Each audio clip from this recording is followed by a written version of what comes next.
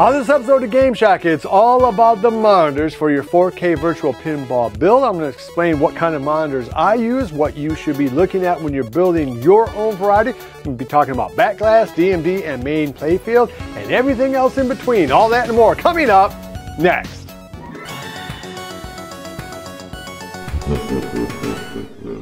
Hey everybody, welcome on back into the Game Shack. I am your host, JDV for Evil Genius Entertainment. Thanks for stopping by. It really does mean a lot to us that you take a little bit of your time or your day and come on through here and check out this video. If you do like videos like this, please give me a thumbs up on the way out the door. It does help the channel. And subscribe if you haven't already. And if you have, hit that notification bell.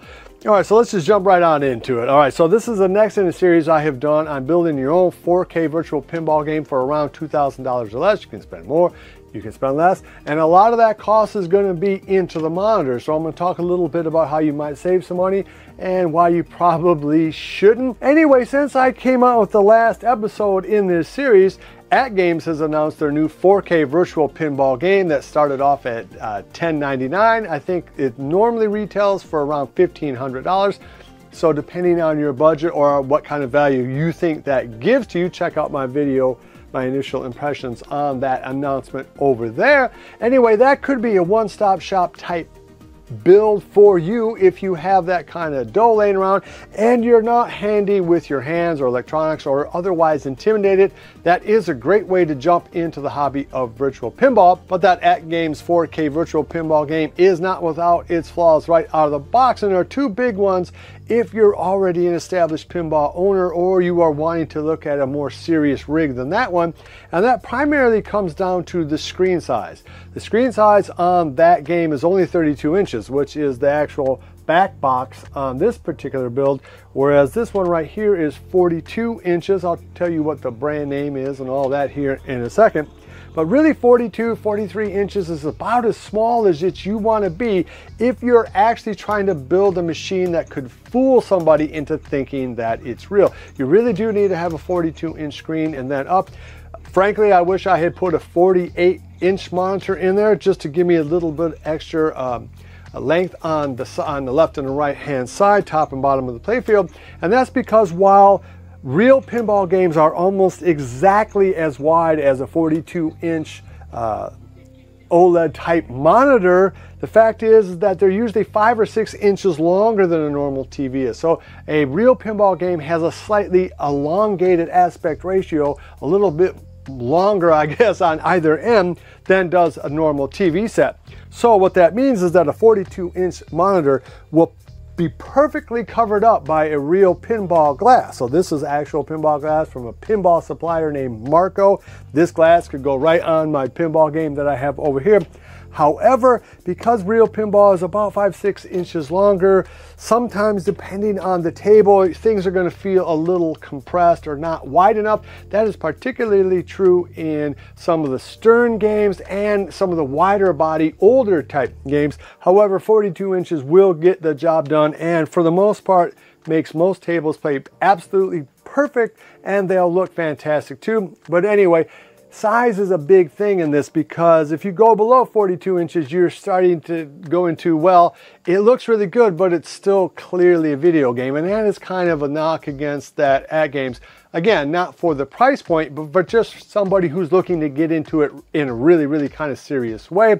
The other problem with that AtGames is that it is only a 60 frame per second monitor. It will only ever be capable of 60 frames. So even if you're running a 120 frame type computer in games on it, it's still only going to be 60 frames per second. The monitor just is not capable of 120p. So if you want the most hyper real looking graphics, particularly the way the ball rolls down the playfield, field as opposed to slides, you really do want to have 120 hertz. The meat and potatoes of any rig is going to be your main playfield monitor. And for that, I chose the LG C2 120 hertz unit, which is from uh, 19, from 2022. And I think I got this used for 750, 777, something like that. They're still retailing for around a $1,000. There is a newer model from this year, the C3, that does almost exactly the same things. In fact, I'm not exactly sure what the difference is, but if you're jumping in and looking at the C2, C3 series, you might want to take a look at that. Maybe one is more appropriate for you than the other. The C1 that's in the same lineup is only 60 hertz, uh, only 60 frames per second, and that's why I rejected that. I did go for the higher end type model, and that's gonna be my overall advice moving forward in anything to do with this build is if you have an opportunity to spend a few extra hundred bucks or a hundred bucks to get something that's significantly better, just go ahead and do it. Poor man pays twice is what they say, right? And that is particularly true in this hobby. So I went with something that I thought was going to be future proof. And so far it does look like it is a little bit future proof.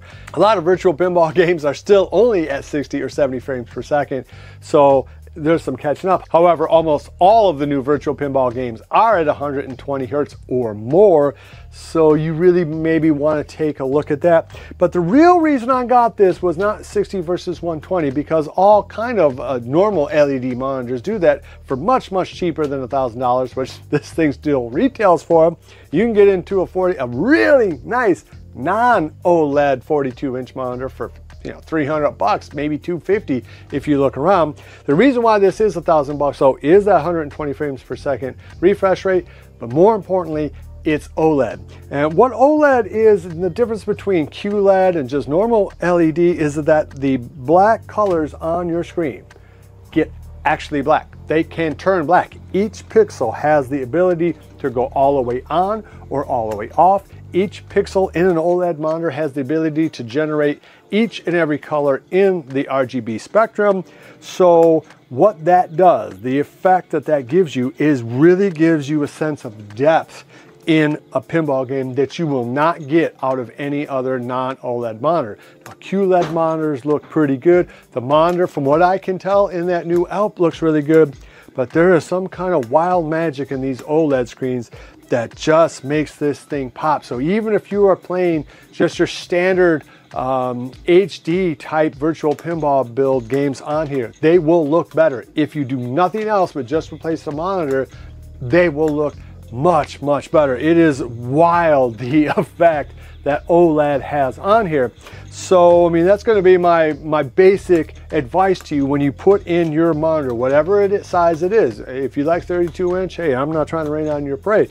And that OLED is gonna cost you. It's gonna be the most expensive thing other than maybe your PC in this build. This represents a full half of my $2,000 budget if you buy this thing new because it's a thousand bucks, but it's worth it. It really is worth it. I would not dream about building a new pinball game without having OLED it's that important. Okay, so but what about the, the back glass and what about the DMD? Well, a thing that you have to decide right off the bat is whether or not you want this to be just a two monitor setup or if you want the three. The three can be a little intimidating. I almost went with the two just because I knew it was gonna be a lot more hassle to put it in and of course more money because you actually have to buy the thing, you have to have a cutout for it and all that. And, but I went with three and I'm glad I did. Almost all of the new pinball games that you are going to get, and that is either from Zen, Zaccaria, that's VPX, Future Pinball, almost any new game that comes out in 2023 and beyond is going to have options for the three screen setup. It is no longer the bleeding cutting edge of this hobby. Now the backglass I have on here is just a $100 1080 uh, just normal LED type screen I got from Walmart, ONN, and actually has worked pretty good. I jacked up the contrast of this thing to maximum and it looks okay. It really does because again, your back glasses are normally, you know, sometimes there'll be video like this, but normally there's just gonna be a picture and then little boxes where the scoring comes up. You really don't need to have an OLED monitor for this. Same thing for this DMD monitor. If you see it's got that weird extra long kind of rectangular aspect ratio. I just got that off of Amazon. I think it's for $120. I'll have links to this, to that, and to that down below. Um, I think the, the aspect ratio is 390 by 1080. Don't quote me on that. Uh, but it does, because it is a different, clearly different aspect ratio than a normal TV set, it does help sell the idea that this is a real pinball game and not just a video game that you're playing on your computer. When you get your rig running and you see the difference between say your your last 1080 screen that was maybe 32 inch screen like say the original Alp and you start messing around with this 42 inch OLED screen it was it will blast your mind the difference because really the the big thing for this is no matter where you go it looks good it doesn't at all fade. There's no fading at all. It does not matter what angle you are at. This thing is going to look good. Now, the perspective doesn't change. I don't have this rig set up for that. But when you're just standing right here at the normal position and you get the table, when you change the table dynamics to look exactly the way you want, you know, make the feel uh, aspect ratio fit whatever build you have,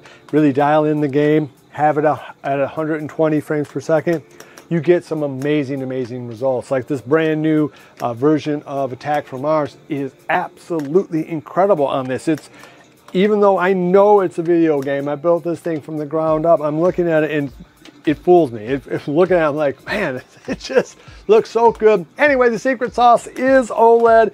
Definitely take a look at spending the extra money. You're going to be paying almost two thirds more for an OLED than a normal LED. That's just the price of business. If you are really, really serious about getting into this hobby, I would look very strongly at a 42 inch or bigger OLED monitor from a reputable manufacturer. Okay, so that's gonna wrap up this episode of Game Shack. If you dig this kind of content, please give me a thumbs up on the way out the door. It really does help the channel. Love each other, and until next time, I'll see you guys in the Game Shack. Mwah! Be sure to visit evilgeniusentertainment.com for exclusive content, swag, casting call news, and much, much more.